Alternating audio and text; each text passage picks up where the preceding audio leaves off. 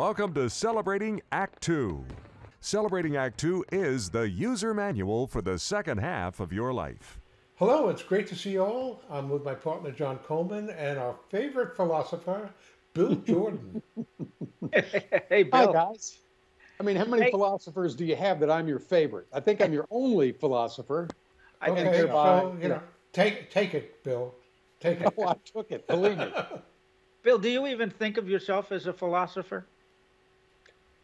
No, but I sure have, uh, em- uh, to pardon my own phrase, I have embraced it. If you had told me when I was in high school or the one year I, my one year stint in college that one day I would love reading philosophy, I would have laughed at you because I didn't understand what philosophy was. Philosophy is learning how to live.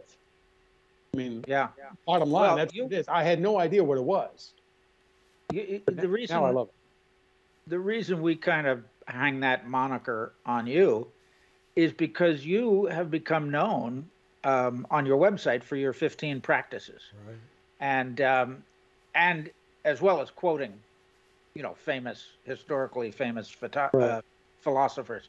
Right. But your 15 practices are, without a doubt, philosophical. They're very practical. They're Right. great, great pieces of advice, but they are very philosophical ways of looking at life, and I, I find them very helpful. Well, What's I your mean, I- favorite? I, do too. When I when I you know I don't know if I ha- you know I, I really I don't know if I have a favorite. What I find that I am doing in these 15 practices is I will try to key in on one every day, and and just be mindful of that every day, and then hopefully it will become ingrained in a as a practice or as a habit because as it is it's a practice. And I say in in one of my videos you know, if a if a young lady graduates, you know, law school, she opens up her law practice. If you graduate medical school, you open up your med- medical practice. So Right. if these people are still practicing, I should probably still be practicing. So yeah, they're just 15, 15 practices, I call it, and not rules or standards or anything else. It's just things that I'm trying, and I'll never get them all right. I'll never get them right, but it's something to uh, to which to aspire. I think is to just and when I when I do embrace these practices, um, I know that I have a better life. I have a calmer, more mature, perhaps, and more organized life. And number one, uh, where I think we should always start is with an attitude of gratitude. I mean, that makes everything enough, doesn't it? If you're if you're grateful for things, and and something I did, you know, in my first YouTube video for uh, attitude of gratitude, in talking about even to the point of like I can walk out on my back deck in the morning, and I try to tick off each of my senses. What can I see, hear, feel, taste, and smell? And just go down that list and be thankful for all my senses. Uh, that occurred to me a, a few years ago. We were doing our Thanksgiving dinner, and like a lot of families do, you go around the table and what are you thankful for? And it got to me, and I it had never occurred to me to be thankful for my senses. As obvious as that is now to me, everything that we enjoy in life comes to us through our senses. So, yeah, attitude of gratitude, and it also helps to, for example, if you're happily married, be thankful for your spouse or partner, and but also give a brief thought to those who aren't as fortunate, and that kind of heightens your gratitude of where you are too. Yeah. Well, gr- gratitude, of course, is not limited to any one subject like Certainly not. your senses or your spouse. Right. Or, I mean, Oh, gratitude think- is, and that's why that's why Right. number one such such a good practice. Sure. I mean, if you say, you know, I'm grateful for, if you if you do that, it, you could you would never run out of things to be grateful for. Right. It, Right. It's an never-ending list. You know, even to the fact of, hey, I'm I'm grateful I can make a list of things I'm grateful for. Yeah. Right. Well, it is a it is a good starting spot for your not only for the 15, but for any of us who want to improve our lives. Sure.